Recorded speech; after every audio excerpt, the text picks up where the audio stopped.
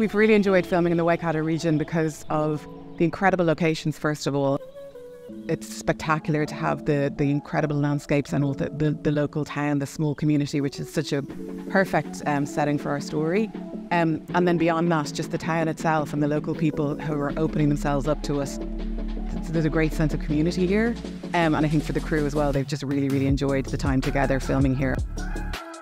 It's been really special filming in Aroha. I fuck up up to the Waikato, so it's been really cool being able to work in like, you know, my hometown in a way.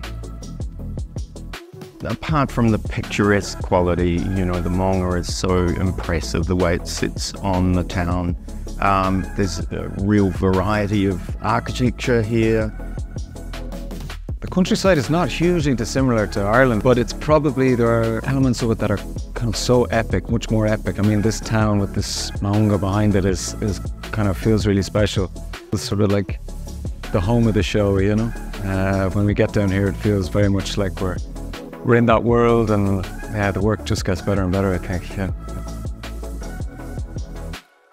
Oh, the people in Seattle Aroha are amazing. I flippin' love them. They are so generous, they are so kind, they're so hospitable. We couldn't, like, the show wouldn't be what it is without their warmth and, and welcoming nature. It's been bloody great. Go the Chiefs. it's as good as I can do for a non-Irish team.